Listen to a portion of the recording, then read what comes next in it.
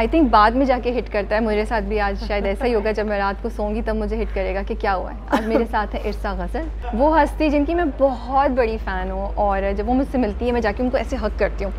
And she hugs me back and that's something so you know so unreal कि वो इतनी बड़ी you know um, हैं और वो एक्ट्रेस हैं इतनी उनकी you know she has a position and वो ऐसे मिलती हैं जैसे नो बिग डील सो आज उन्होंने हमें दो मिनट देने का वादा किया है और दे रही है। आई एम एक्सट्रीमली ऑनर्ड थोड़ा सा घबराई भी हूँ कि अल्लाह इज़्ज़त रखे। सही सवाल पूछ सकूँ। और अच्छे से ये कर सकें बिकॉज़ ये चांस रोज़ रोज़ तो मिलने वाला नहीं है राबिया। अस्सलाम वालेकुम मिर्सा जी कैसी हैं आप? वालेकुम अस्सलाम। लेकिन मैं ये क्लियर कर दूँ कि ये इंटरव्यू नहीं है। नहीं, नहीं और गपशप हाँ, है हाँ। क्योंकि इंटरव्यू का वादा जो है वो जो हमारी आमना है समथिंग हॉट वाली जी, जी. उनसे मैंने किया हुआ है कि अगर किसी को मैं इंटरव्यू दूँगी तो सबसे पहले उन्हें दूँ ठीक है बिल्कुल। नहीं जो तो वादा किया वो निभाना पड़ेगा। हाँ हाँ अभी तो इस ड्रामे के हवाले से क्योंकि हम बात कर रहे हैं। बिल्कुल। हम बिल्कुल इस ड्रामे के हवाले से आपके कैरेक्टर के हवाले से बात करेंगे। कि ये रोल आपने क्यों हाँ बोला इसमें क्या ऐसी चीज़ थी which made you say yes role में तो ऑनेस्टली मुझे अपने अपने रोल में hmm. कोई ऐसी नई बात नहीं नज़र आई थी जो मैंने पहले प्ले ना की हो okay. uh, लेकिन ड्रामा बहुत उमदा लिखा हुआ है तो okay. मैंने इसको overall as as a package देखा क्योंकि लिखा नहायत उमदा हुआ है और फिर नदीम डायरेक्ट कर रहे हैं उनके साथ मुझे काम करना था मैं उनके साथ काम करना चाह रही थी पहले एक दो दफ़ा कुछ चीज़ें मुझे उनकी तरफ़ से आई लेकिन वो कुछ मुझे ऐसी हम्म। तो वो नहीं आगे बात बढ़ सकी हम्म। इसमें मैंने बस आप आप ये समझिए कि रोल से ज़्यादा कैरेक्टर से ज़्यादा मैंने ये देखा कि ड्रामा बहुत अच्छा लिखा हुआ है। एंड आई थिंक ये इतनी बड़ी बात है कि आपने इस बात को इम्पोर्टेंस दी कि आपका रोल और स्क्रीन टाइम आपने देखा ये प्रोजेक्ट इम्पोर्टेंट है इट शुड बी इसमें स्क्रीन टाइम जो है वो तो काफ़ी है काफ़ी है बट रोल्स आप आपको लगता है रोल में इतना मटेरियल नहीं मेरा ख्याल है रोल्स में अब देख रही होती हूँ कि उसमें कुछ चैलेंजिंग हम्म। हो। ओके okay, वो नहीं मिला तो उसमें मुझे लगा कि नहीं ये इसको मैं डिफरेंट वेरिएशंस के साथ ऐसा रोल कर चुकी हूँ। कई दफ़ा शायद कर चुकी हूँ। एक से ज़्यादा दफ़ा कर चुकी आपको पता है ना क्योंकि ये रोल आप करेंगी तो हमारे लिए ये रोल और भी ज़्यादा इंटरेस्टिंग हो जाएगा। उसका मज़ा देखने का और भी ज़्यादा हो जाएगा। शुक्रिया this plays about women empowerment ji it is and it is not how is it not ये बड़ा इंटरेस्टिंग है क्योंकि ये कश फाउंडेशन का है। जी जी। इस ड्रामे की शायद यही खूबी है। बात यह है कि ड्रामा ड्रामा होता है। और ड्रामा चाहे उसका कोई भी जॉनरा हो ड्रामे में कॉन्फ्लिक्ट होती है। और सोशल इश्यूज़ हैं जो हैं हमारे इश्यूज़ हैं और लेकिन इसमें आपको ऐसा नहीं लगेगा कि ये ड्रामा नहीं है। Hmm. और ये एक जो है वो आपको कोई नसीहत की जा रही है। नसीहत या कोई जो है वो एक कड़वी सी गोली जो है हम्म, हम्म, वो हम्म। आपको विमेन एम्पावरमेंट और ये जो जो भी इश्यूज़ हैं इस ड्रामे में जिनको उनको बड़ी खूबसूरती से जैसे हमारी हमारी जो फैमिलीज़ हैं मिडिल क्लास फैमिलीज़ के जो मसाइल होते हैं ख़ास तौर पे ख़वातीन लड़कियों के से मुतालिक जो चीज़ें हैं उनको बहुत खूबसूरती से पेश किया गया है। नदीम के साथ काम करने का एक्सपीरियंस कैसा था? नदीम के साथ बहुत अच्छा एक्सपीरियंस है। आपने तो मुझे डायरेक्टर्स के साथ काम किया हुआ है। मुझे अंदाज़ा था कि ये शायद इसीलिए I was looking forward to working with him कि ये एक अच्छा एक्सपीरियंस होगा। Mm-hmm. नदीम की जो एज डायरेक्टर जो अच्छी बात है वो ये है कि आप एक कैरेक्टर को एक सर्टन पॉइंट ऑफ़ व्यू से देख रहे हैं। तो वो आपको स्पेस देते हैं पूरा पूरा आप उसको करें।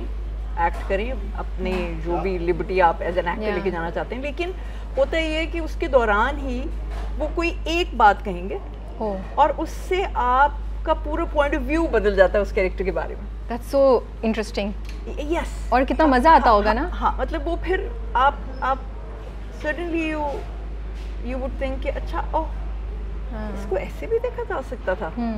ट्रू hmm, तो वो वो एक मज़े की बात है। And I think that challenges you also absolutely और वो आपके काम को भी इंटरेस्टिंग रहता है बिकॉज़ यू नो कि कोई नई चीज़ डिस्कवर करने को मिलेगी। It's not the same old thing जो हम कर रहे हैं। बात ये कि मैं एज एन एक्टर वो वाली चीज़ें तो मैं हर वक्त ही तलाश में उठ जो मुझे स्क्रिप्ट भी नहीं मिलती hmm. वो फिर मैं खुद से ऐड कर लेती हूँ। ऐड तो बहुत आसान लफ्ज है। क्रिएट करनी पड़ती है। दैट्स अ वेरी तो apt word that you have used तो वो जो जब आप कोई चीज़ क्रिएट करते हैं तो वो इतनी आसानी से ऐड नहीं, नहीं हो जाती सही बात है बिल्कुल। इट्स इट्स अ प्रोसेस तो उसके लिए बहुत मेहनत करनी पड़ती है। उसके लिए बहुत काम करना पड़ता है। मुझे लगता है आप आप एहसास ज़्यादा रखती हैं इस चीज़ के बारे में तो आप कोशिश ज़्यादा करती हैं कि आप जो भी कर रही हैं मेरे में एहसास से ज़्यादा मुझे कुछ नया करने की ख्वाहिश हर वक्त रहती है। Nice. nice. बिलाल और सचिल के साथ पहले आपने काम किया हुआ है। और अंग्रेजा इन दोनों और this is the second time ji this is the how is the experience and as actors how have you seen them because आप खुद भी एक टीचर हैं मुझे तो लगता है यू नो इन दोनों के साथ जब मैंने काम किया था तो ये तब भी इतने ही अच्छे एक्टर थे। अच्छा। और बिलाल का पहला दिन था मेरे हम्म। साथ और अंग्रेज़ा के सेट पे और मैं I was like literally stunned कि इस उम्र का लड़का इतनी उमदा एक्टिंग पहले दिन। तो ये दोनों जो हैं ये दोनों बहुत जवान बच्चे हैं मगर इनका काम जो है ना वो आ, बहुत मंझा हुआ है। बहुत ज़्यादा। दे पावर एक्सलेंस दे वो बहुत उमदा काम करते हैं। एक अभी जब हम ऑफ़ द कैमरा बात कर रहे थे तो ईसा जी ने एक बहुत ही खूबसूरत वर्ड यूज़ किया लफ्ज़ यूज़ किया बुन्नत। मैं तो उसकी जादू में खो गई बिकॉज़ इतना कम उर्दू में हम इस्तेमाल करते हैं उर्दू के अल्फाज को सही तरीके से। इस ड्रामे की बुनत बहुत बहुत उमदा है। वेरी वेल राउंडेड जी जी। अब ये कि अंग्रेज़ी का इतना इस्तेमाल मैं खुद भी करती हूँ ना hmm. चाहते हुए भी करती हूँ नहीं करना चाहती लेकिन क्योंकि उर्दू बोलते कम है, कम है। पढ़ते भी कम है। हमें तो खैर फिर भी मौका मिलता है स्क्रिप्ट में पढ़ने का। अच्छी उर्दू पढ़ने का फिर भी बहुत कम मौका बहुत मिलता है क्योंकि स्क्रिप्ट में भी अच्छी उर्दू नहीं लिखी हुई होती। बहुत कम राइटर्स ऐसे हैं जो बाकायदा अच्छी उर्दू लिखते हैं। वो भी आप हम्म। उनको गिन सकते हैं कोरों पर। तो बस वो ना चाहते हुए भी अब वो इतनी शामिल हो गई है हमारी ज़बान में अंग्रेज़ी के वो।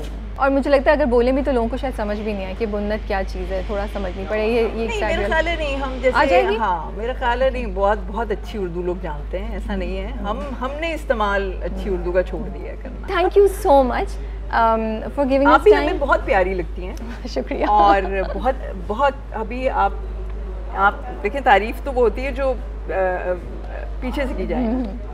तो आपकी तारीफ़ जो है हमारे सेट पे आपके आने से पहले हो रही थी। और उन लोगों में मैं भी थी। तो जो है वो आपका माशाल्लाह बहुत पॉजिटिव हो रहा है और वो पॉजिटिविटी आपकी जो है जब हम आपको देखते हैं सोशल मीडिया पे तो वो बाकायदा जो है वो इट ब्रिम्स ओवर ठीक है ऐसा नहीं है। You made my day you made my day क्योंकि कभी कभी अक्सर हम सब भी सवाल कर रहे होते हैं जैसे आई एम श्योर कभी आप भी करती हूँ कि हम क्या कर रहे हैं। हम। कुछ ऐड कर पा रहे हैं लोगों की ज़िंदगियों में अपने आसपास। It's not not all about cameras and lights and you know good Instagram pictures ये नहीं है. Life has to be more than that तो बस वो उसमें करते हैं तो अगर हम कहीं भी पॉजिटिविटी भी क्रिएट कर रहे हैं कंफर्ट भी दे रहे हैं तो मुझे लगता है ये भी बड़ी बात होती है। कुछ हमने कर लिया है जो आप लोग अपने कैरेक्टर्स के थ्रू करते हैं हाँ, हमारी ज़िंदगी तो में। कहना चाह रही हूँ कि आप शायद वो चीज़ें कॉन्शियसली नहीं भी करती होंगी मगर वो आपकी पर्सनैलिटी ऐसी है कि वो शुक्रिया। आज तो मेरी ईद हो गई है भाई।